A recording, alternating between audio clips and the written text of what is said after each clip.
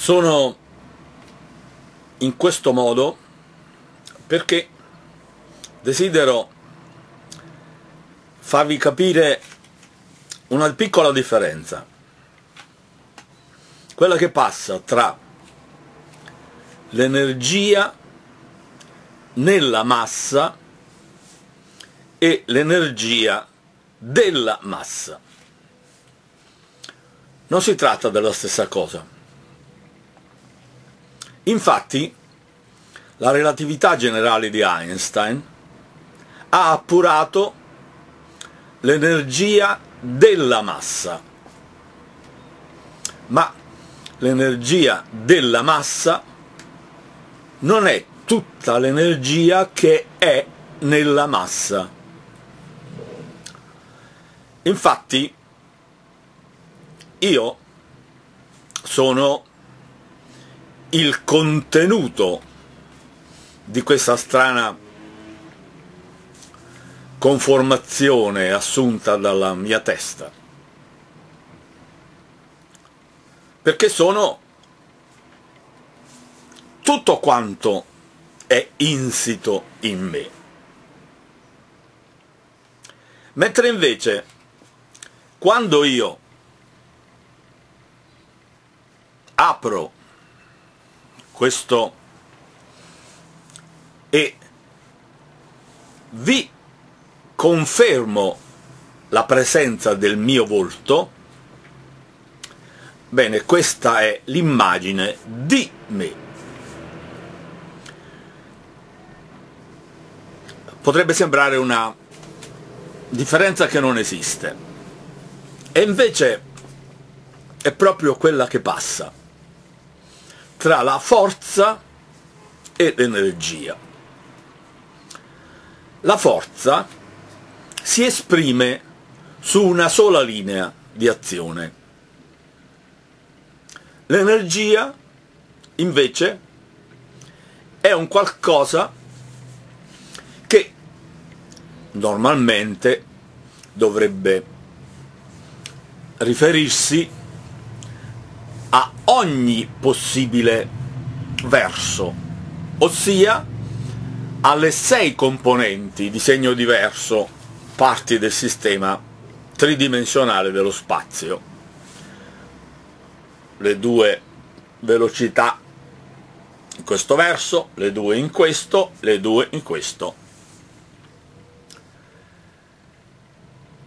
Non è quello che accade oggi nel calcolo della relatività generale di Einstein. Infatti la relatività generale di Einstein vi conta in modo perfetto tutta l'energia della massa, ossia che non dissolve la massa unitaria che poi si muove, non la dissolve in quella sua sezione del piano trasversale che poi è interessata da due velocità assolute, quella elettrica in questo verso, e quella magnetica nel verso opposto. Quando la sezione è movimentata simultaneamente per le due velocità, la elettrica C e la magnetica C, che sono due velocità assolutamente uguali tra di loro, perché il magnetismo è alla base dell'elettricità, che è la reazione al magnetismo, lo vediamo per come è prodotta la corrente elettrica. Si fa ruotare un campo magnetico in un verso e in un anello chiuso accade la velocità elettrica nel senso inverso. Bene, quando noi interessiamo la stessa sezione di una massa a movimentarsi teoricamente in assoluto nei due versi, allora noi conserviamo intatta l'unità della sezione, tanto che possiamo dire che abbiamo ancora una massa che conserva la sua sezione di traslazione simultanea, di esplosione strana, perché è un'esplosione che accade solo in due versi e non nei sei che possono annichilire interamente l'ammassamento attraverso la sua esplosione. Bene, quando invece noi vogliamo conoscere tutta l'energia che esiste nella massa, la possiamo avere solo quando non conserviamo alcunché della massa, perché la espandiamo tutta e in tutti e sei i versi centrifughi. Questa differenza, che vi potrebbe sembrare irrilevante, è invece della massima importanza, perché io, Amodeo, quando vi affermo che dalla formula di Einstein non deriva tutta l'energia insita nella massa, io non obietto che quella di Einstein non sia tutta l'energia della massa, ma quella che è compresa nella massa che si dissolva completamente anche nella sua sezione trasversale. Infatti noi abbiamo lo schema reale di traslazione nello spazio-tempo attraverso una divisione del volume in due enti. Uno è quello della sezione del flusso, l'altro termine è quello del reale flusso di quella sezione. Quando quella sezione si muove alla velocità c massima, sia in questo verso, sia in quest'altro, allora abbiamo che nei due versi non esiste più la forma di una massa conservativa che trasli da una parte sola, ma una che stranamente esploda solo nei due versi in modo simultaneo. Conserviamo inalterata la sezione. Abbiamo un altro modo per poter togliere di mezzo la sezione. Quando essa, avendo assunto il valore unitario, veramente unitario, allora tutto il flusso reale non è più flusso di altro che di tempo. Lo spazio-tempo, quando altera il suo spazio nel tempo in un modo tale che lo riferisce proprio all'unità dello spazio, che sia uno per uno, allora tutto quel quantitativo che è espanso simultaneamente appartenente ad una sezione può essere lanciato tutto nel flusso fino a togliere di mezzo per unificazione lo spazio della sezione ed avere unicamente tempo. Il tempo che avanza, infatti, in maniera unitaria, consiste nell'avanzamento dello spazio unitario.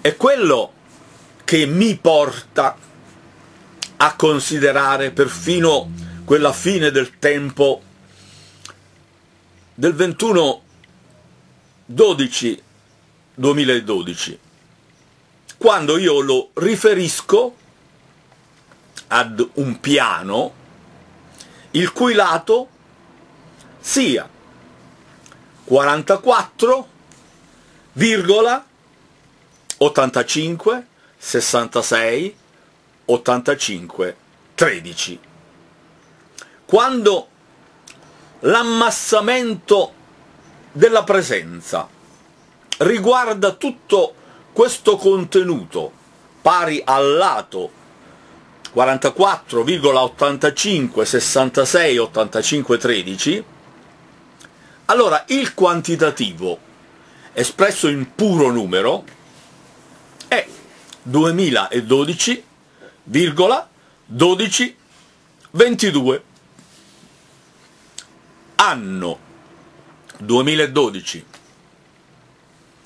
mese 12 e fine del giorno 21 espresso dal, dall'inizio del giorno 22 come un contenuto tutto presente in una sezione unitaria in cui il tempo non esista e sia tutto e solo spazio. Ebbene, questo quantitativo può essere tutto e solo spazio se è contenuto nella sezione, oppure può divenire tutto e solo tempo se la sezione si riduce da quella di uno di un lato che è 44, eccetera eccetera alla sezione di 1 per 1. Allora a questo punto il risultato che si ha ossia 2012,1222, è proprio il tempo che fissa lo scandire suo in date e si tratta di una data del 2012. In questo modo noi abbiamo tolto di mezzo tutto quanto lo spazio Intanto, come abbiamo fatto? Devo spiegarvelo perché altrimenti il mio calcolo sembra poggiato su qualcosa che io poi non spiego. Devo spiegare che cosa è questo lato 44,85 66 85 13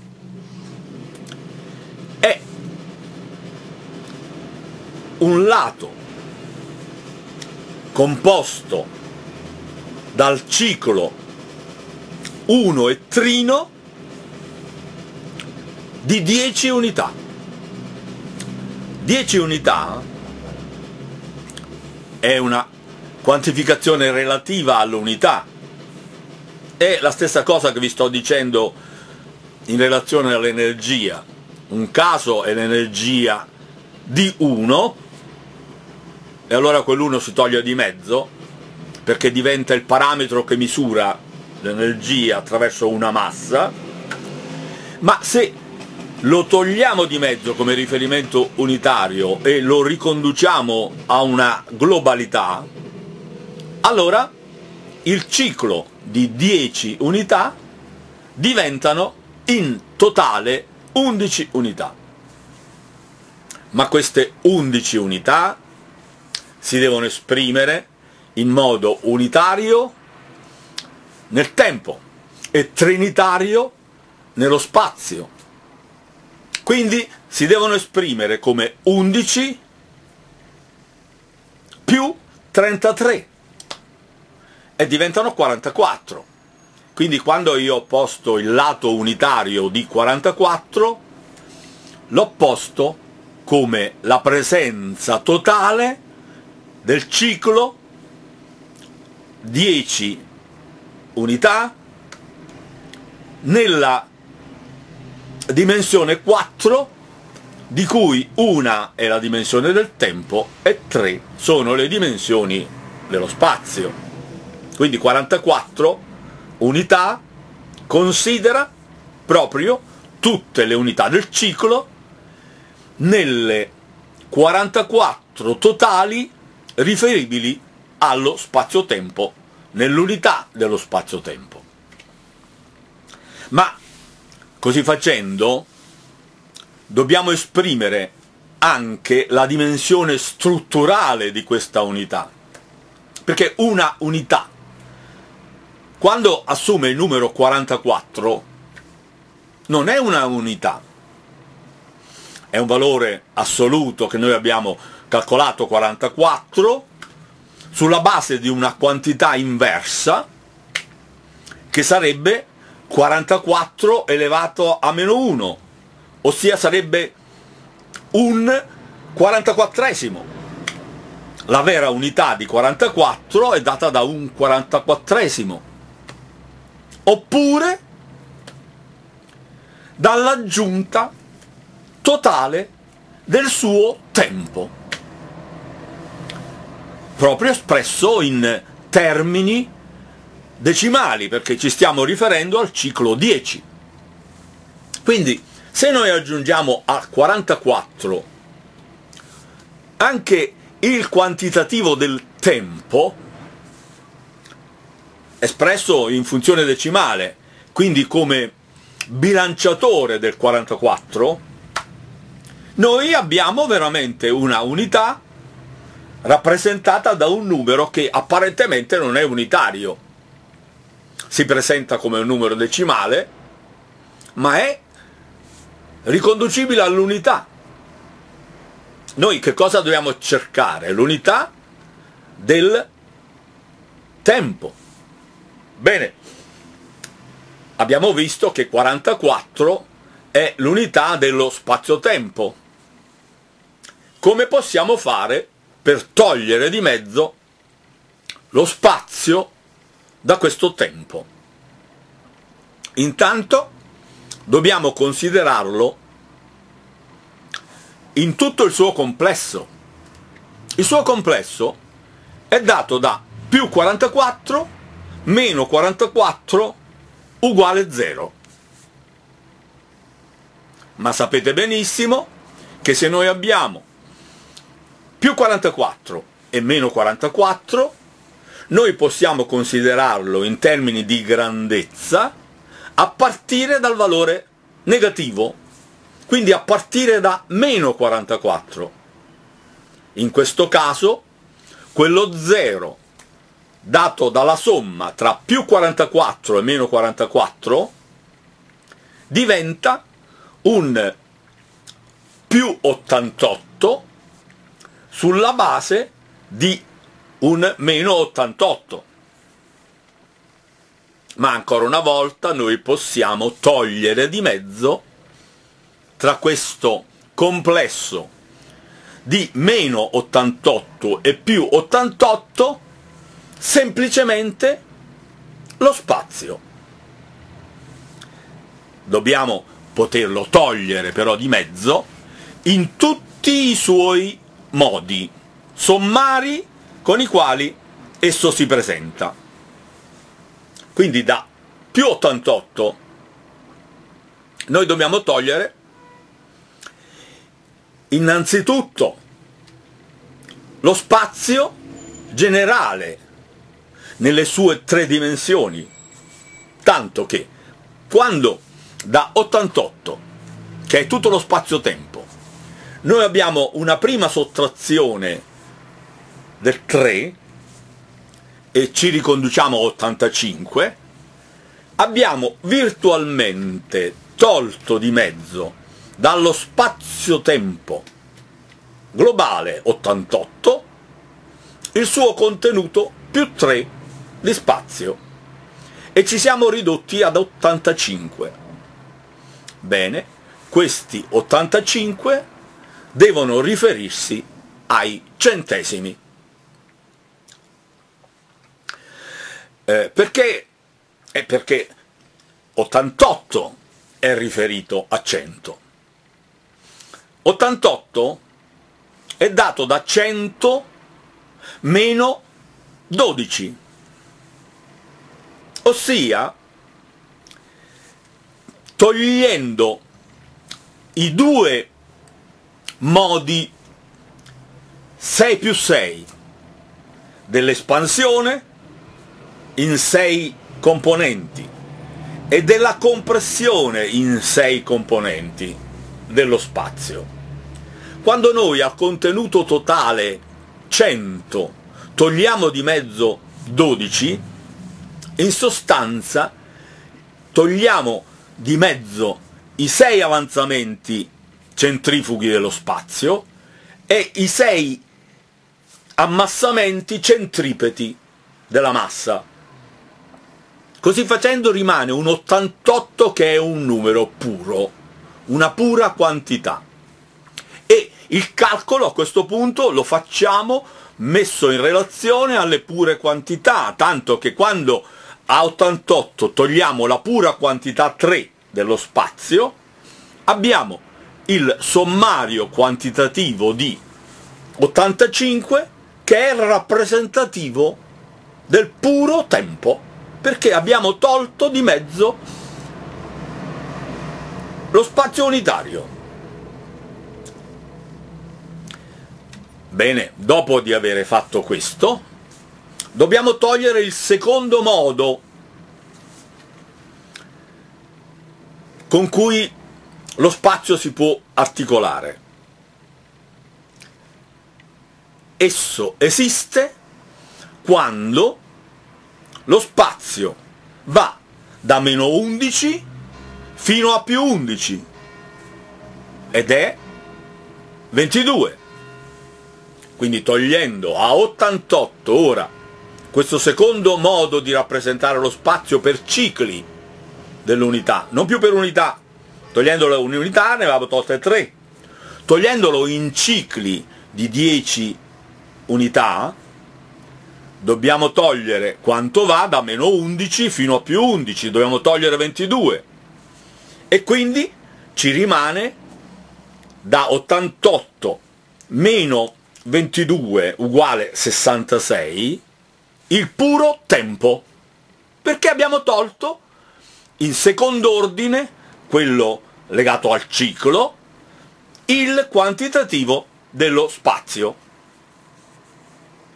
Con 85-66 abbiamo le quattro dimensioni reali, alle quali devono corrispondere poi quattro dimensioni immaginarie, perché la nostra realtà ha otto dimensioni, ne comprende quattro di un tipo e quattro del tipo opposto. Quindi dobbiamo considerare un secondo tempo in quattro quarti dopo questo primo. In questo secondo tempo, il primo tempo è nuovamente generale come il primo, quindi da 88 dobbiamo togliere ancora 3 e ci risulta quindi nuovamente 85. Ma l'ultima parte deve considerare la quantità 100 da cui siamo partiti per ottenere 88 attraverso il calcolo di 100 meno le 6 componenti dello spazio che sarebbe il numero x di Avogadro il 6 è rotti per Avogadro invece è il 6 di Amodeo 6 centrifugo e 6 centripeto 12 100 meno 12 fa 88 e quindi abbiamo ridotto il tutto a un puro numero e adesso a questo puro numero dobbiamo togliere la quantità assoluta del, dello spazio. E come si fa? Ma se le dimensioni sono 4, una è di tempo e 3 sono di spazio, per avere la quantità unitaria di questo quartetto bisogna dividere 100 per 4, il che ci dà 25. Poi considerando che le quantità legate allo spazio sono 3, dobbiamo moltiplicare 25 per 3 e otteniamo 75. Ecco il valore che dobbiamo sottrarre a 88. Per cui 88 meno 75 determina il 13 come tutto il tempo. Quindi quando noi andiamo ad aggiungere al 44 intero questa quantità decimale in cui noi abbiamo tolto di mezzo tutto lo spazio, noi abbiamo creato un contraltare tra la quantità intera 44 e la quantità decimale che rappresenta in un modo diverso quello che potremmo rappresentare semplicemente attraverso 44 44esimi, solo che i 44esimi li abbiamo virtualmente espressi come la quantità addizionale della struttura del tempo. Struttura ordinata a seconda delle dimensioni, dei centesimi, dei, deci, dei centomillesimi, dei milionesimi.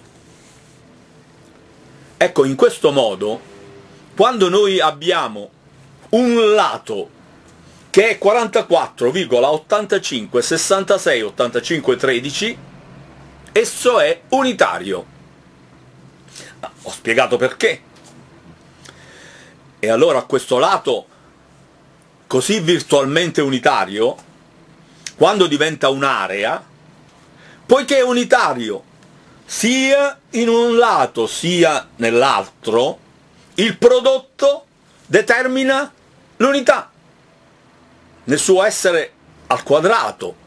E solo come un quantitativo di tempo o di spazio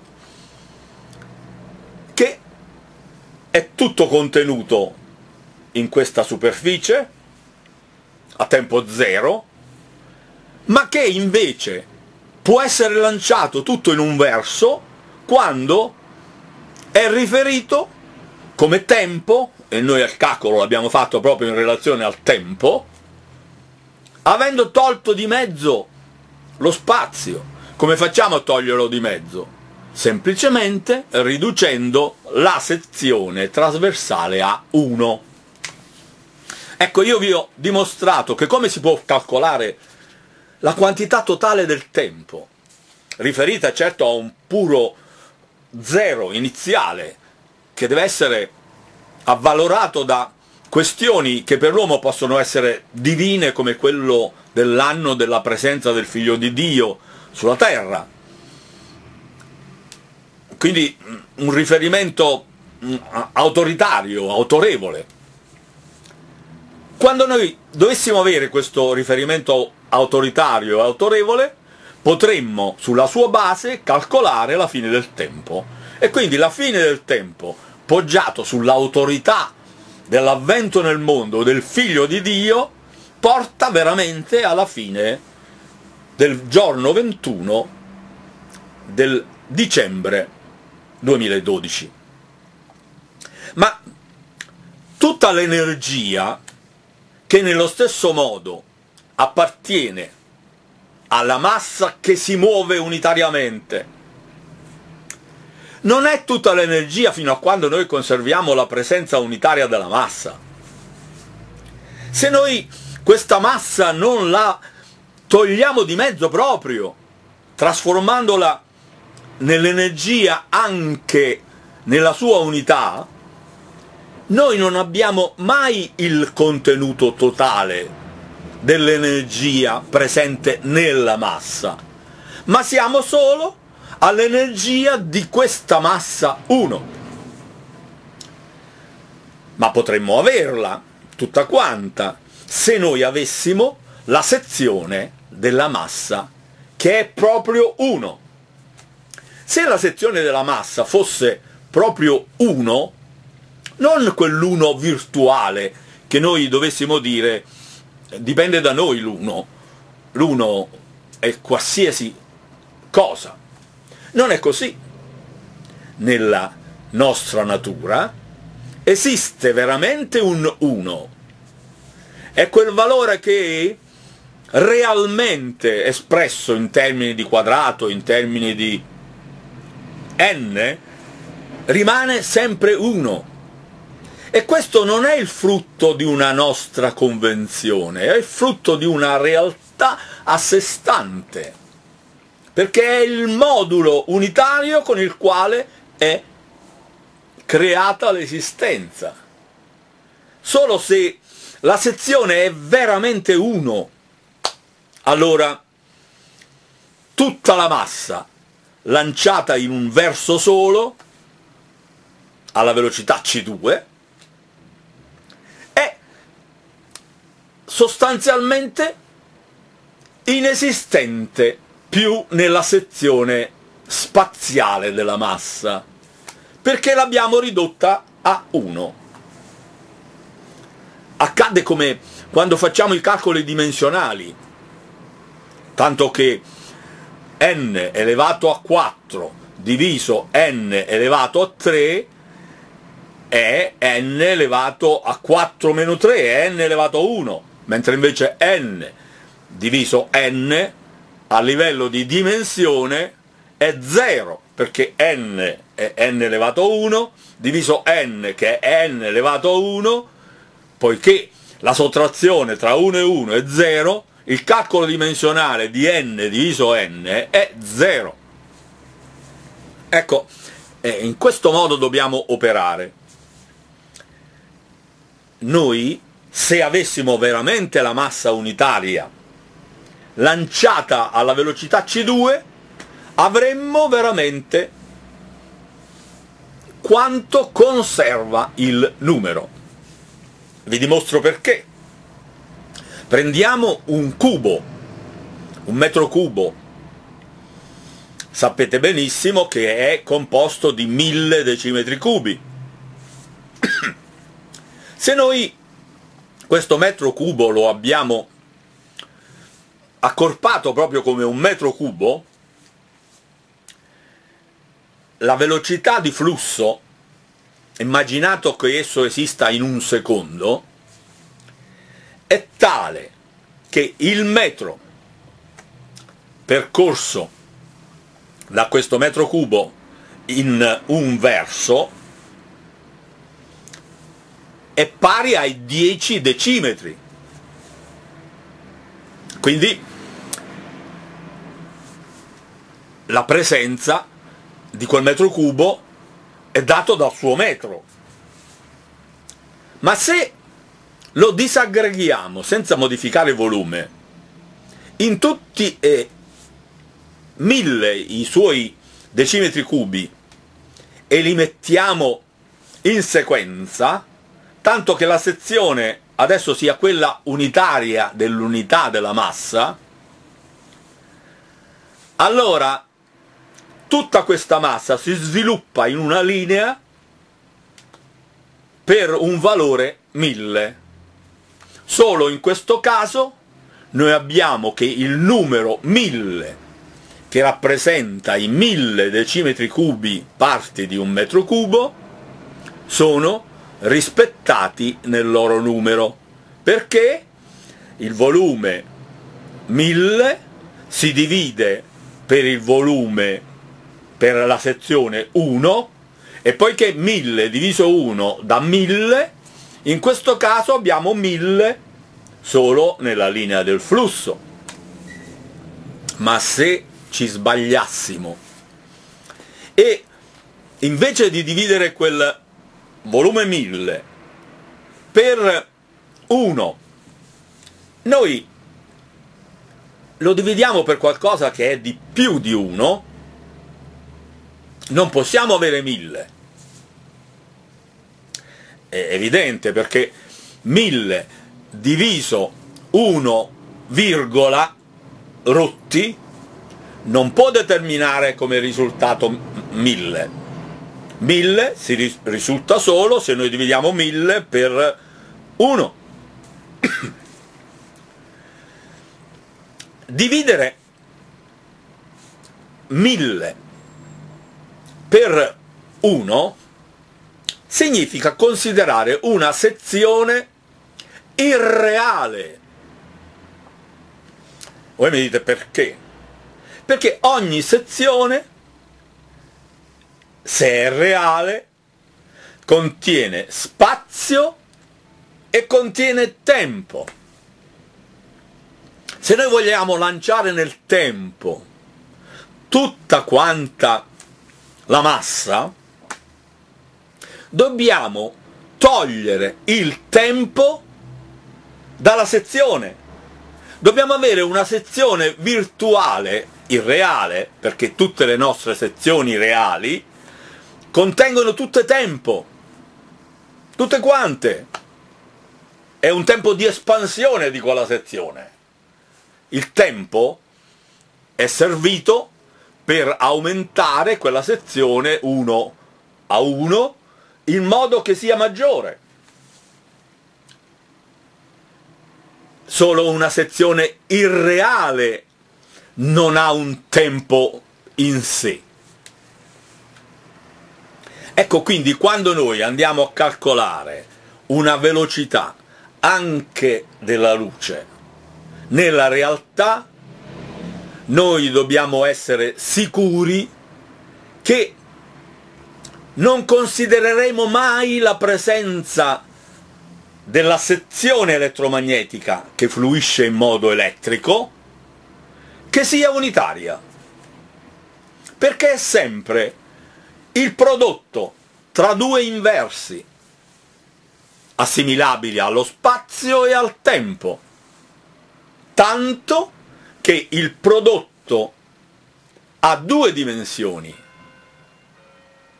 Dire che la sezione ha due dimensioni significa dire che ha spazio e che ha tempo. Quindi è intuitivo che noi non si possa avere mai nulla di assoluto quando lo andiamo a misurare nel campo reale.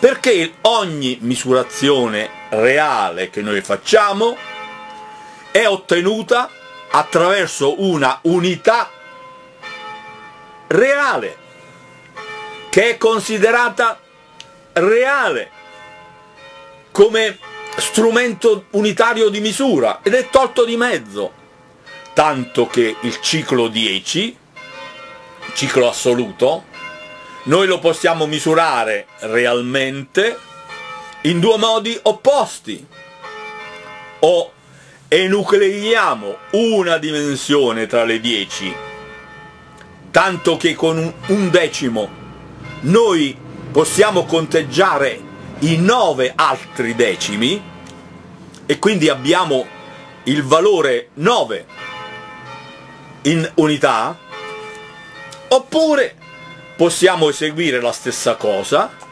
non nel tempo bloccato, ma nel tempo rilanciato, ossia 10 più 1. I due aspetti, 10 meno 1 e 10 più 1, sono rappresentativi in termini di comportamento opposto, ma della stessa unicità. 9 unità e 10 unità sono i due modi uguali e contrari di rappresentare il ciclo 10 che essendo assoluto può essere misurato in modo unitario solo attraverso questi due modi contrapposti di 9 unità oppure 11 unità. Applicandole insieme abbiamo il valore medio del 10, ciclo assoluto. Ebbene, quando noi consideriamo dunque che avendo una sezione reale noi abbiamo una quantità reale a dimensione 2 e quindi non solo a dimensione dello spazio unitario lineare, ma di due linee.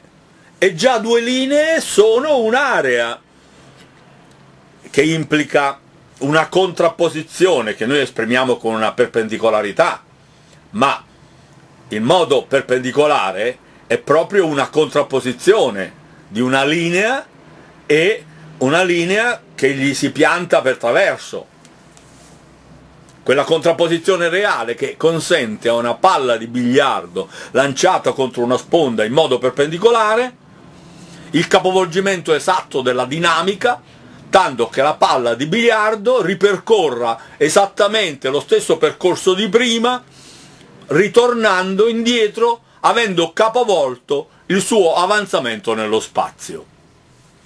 Ecco, quindi se noi non siamo in grado di ricorrere alla velocità della luce per calcolare la quantità assoluta, è proprio perché la stessa velocità della luce, considerando unitario quello che non è, perché è spazio-tempo presente in realtà, è la realtà elettromagnetica che possiede la luce nel suo flusso elettrico o magnetico, quando noi consideriamo questo elemento ci rendiamo conto che usando la velocità della luce per ottenere la quantità di energia, noi otteniamo la quantità di energia di una massa reale, che è conservata nella sua quantità unitaria di energia, che vale solo come massa unitaria. C'è una massa unitaria che è solo massa, e il resto c'è C2 che è tutta la sua energia e noi abbiamo tutta l'energia di una massa. Cioè abbiamo un prodotto MC2 che non ha la capacità di togliere di mezzo attraverso una perfetta combinazione l'ammassamento e l'espansione. Abbiamo sempre in atto il fenomeno reale di una massa reale conservativa che si muove. Ma quando io vi dico tutta l'energia nella massa deve considerare anche l'energia unitaria che è nella massa e quindi bisogna considerare il riferimento anche dell'energia esplosiva del piano elettromagnetico che risulta unitariamente ammassato, ma che esso pure deve espandersi nelle quattro dimensioni, quando noi facciamo una cosa del genere, la possiamo fare in due modi diversi, ma uno dei due sta nel considerare veramente unitario il piano della sezione elettromagnetica. E quando è unitario? quando lo stesso volume, come abbiamo fatto il caso che vi ho rappresentato del metro cubo, è tutto quanto lanciato in un verso conservando il suo numero. Perché la conservazione del numero che ci fa capire che è in atto veramente una divisione in spazio, tutto, e tempo, tutto. Spazio, tutto è flusso nel tempo, tutto. Solo in questo caso, e per farlo, è sufficiente riferirci a quanto ci risulta in termini reali dalla misurazione reale. Perché quando noi riferiamo la velocità della luce e vediamo che si approssima a 3, perché è 2,99 rotti, quello che manca al 3 è proprio dovuto alla presenza unitaria anche del tempo in relazione al contenuto complessivo 3. Quello che manca al 3 è il tempo aggiunto alla sezione unitaria, perché altrimenti il 3 sarebbe lanciato tutto e tre in un solo verso. Invece non è lanciato tutto quanto in un solo verso, ma solo per 2,99 perché non abbiamo diviso il 3 per 1, ma per un valore superiore a 1. E a questo punto il calcolo è facile e si arriva a capire, in un modo veramente stupefacente qual è il meccanismo che lega assieme la nostra percezione con le funzioni ideali e perfette della nostra mente che, considerando le masse, senza quei calcoli che noi facciamo, ma semplicemente per la botta che danno, usando realmente una sorta di bilancia. E la bilancia ha un potere sopraffino. Se noi mettiamo su una bilancia una mela, una pera, della sabbia, in una botta sola, misura il peso di tutto. Ha la capacità di sommare anche ciò che non è uguale, perché noi non possiamo sommare una mela con la pera, però la massa di una mela con la massa della pera sì, e la bilancia lo fa immediatamente, così noi ci regoliamo con la nostra mente, con una sorta di massa ideale che considera per massa il contenuto numerico. È il contenuto numerico che consente tutti i calcoli possibili e immaginabili, perché considerano le volte dei cicli. Il ciclo 10, quando è in atto due volte, si presenta come 10 al quadrato, ma se noi vediamo in modo inverso, uguale contrario, alla potenza 10 elevato a 2, ossia attuiamo il logaritmo di 10 elevato a 2 e scendiamo immediatamente al 2, abbiamo calcolato in base al numero delle volte che il 10 entra in azione con se stesso. Per cui tutti i numeri che noi abbiamo nella nostra realtà sono tutti numeri che indicano quante volte, in maniera secca, la base 10 entra in azione con se stessa, ma è vista nel modo inverso alla potenza di questo gesto, che toglie di mezzo la potenza attraverso il nostro calcolo logaritmico decimale, che riduce l'indice della potenza, ossia il numero delle volte in cui la base 10 entra in azione, a un puro numero. Ecco, il puro numero è proprio l'indice di questo, di quante volte la base 10 entra in azione con se stesso e quindi è alla origine stessa di tutti i nostri calcoli, proprio quel numero che non a caso ha come prime quattro lettere la parola nume che indica Dio. E non a caso quando poi, poi noi andiamo a chiamare Hiro Gesù Cristo, Chi che è il 10 romano, e Ro forma. Il numero 10, che è un Dio, ed è veramente il Dio 10 che regola tutto il nostro sistema. Spero di avervi fatto capire eh, con una forse eccessiva lunghezza, ma se non procedo in questo modo complesso, lento, ma badate bene, non farraginoso, se procedo così, io posso farvi capire la differenza che passa tra un ente tutto compreso in se stesso e la differenza di questo ente quando conserva il suo volto e sulla base del suo volto poi opera.